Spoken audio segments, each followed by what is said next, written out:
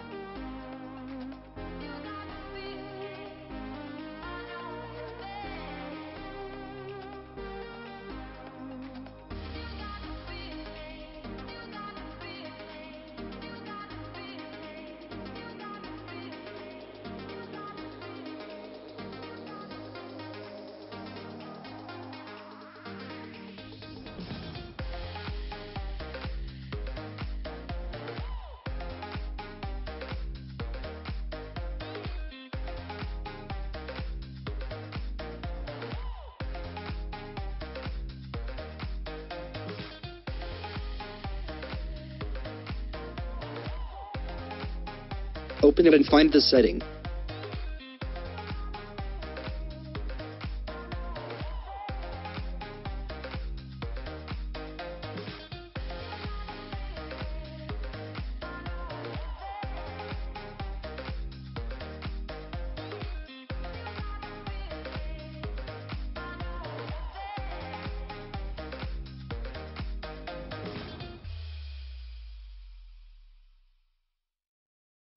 Enable Google Tap to Translate and give the permission.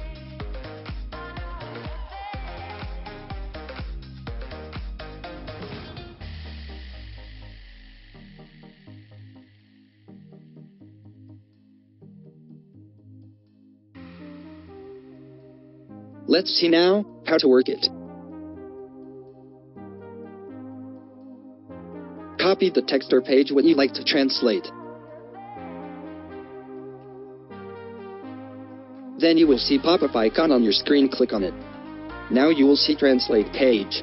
It auto-identify what the language and translate to your own language. You can change it from your Google Translate setting. If you need to reply, just click on new translation. Then type what you like to share.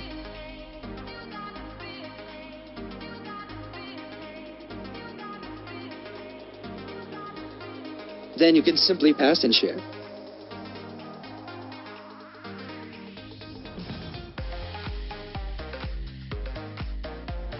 So thank you watching my videos.